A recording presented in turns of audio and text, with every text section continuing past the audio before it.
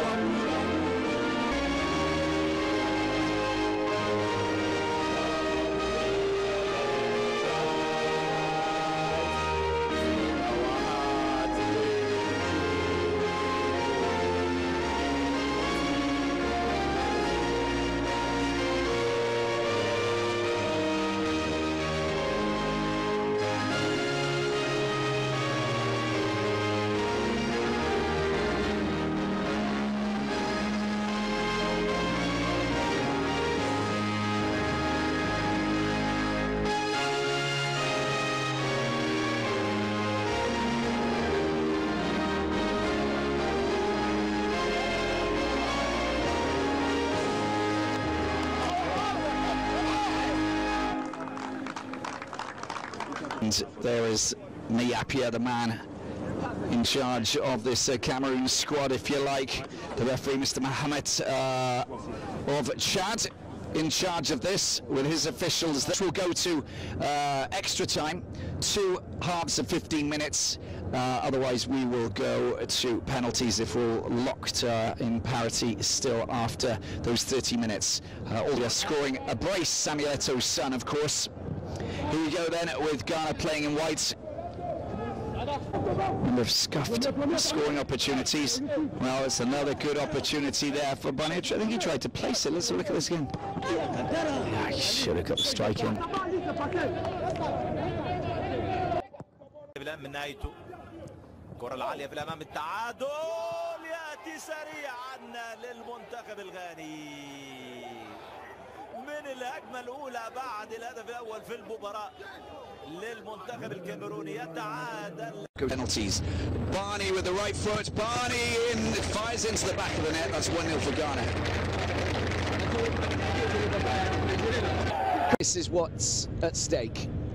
This is the under 20 Africa Cup now if you've been following this competition from the start we've got some teams as well that will go on to do great things, I'm sure. Uh, on the 13th, a week, a week today, in fact, uh, the 13th of March in Morocco.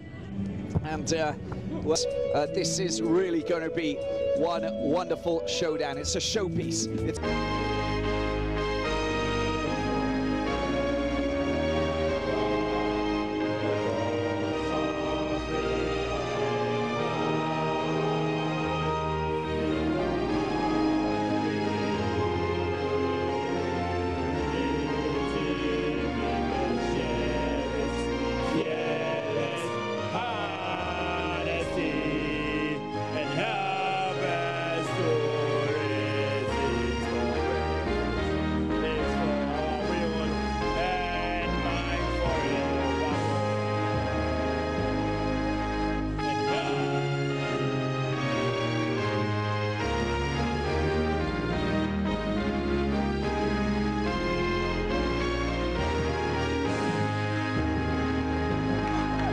very special day today as well. It's Independence Day for Ghana, so that meant happened a couple of times before. Not from Barnieh though. We uh, as an opportunity here. Takes a deflection. Will be another corner.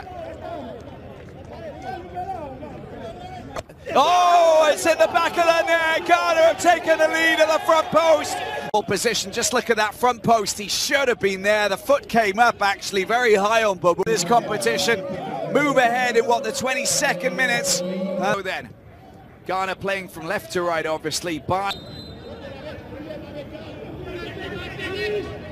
Love the way that Barnieh Hyde. Kid for goal number two, pulls the ball back. Oh, it's there! It's in the back of the net. They've done it. It's that man again. I don't believe it. Barnieh with his second goal for the Black Satellites, and they've taken the lead again with that second goal, doubling their advantage. And Ghana very much in the driving seat now, and it all came from really some uh, slack defence. Congratulations to the Black Satellites. It comes on such a such an important day for them. The, and here they are celebrating. Who are to be very, very proud of their achievements here in Mauritania.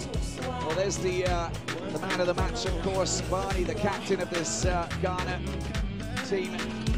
Two goals tonight, led by example. The right place, the right time. Fully in the front post, and then uh. Goal!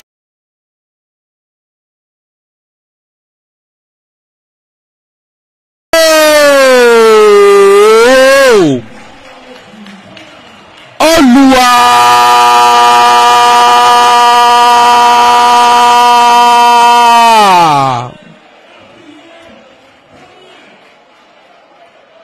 That was an amazing free kick from Precious Boah and a stupendous finish by Daniel.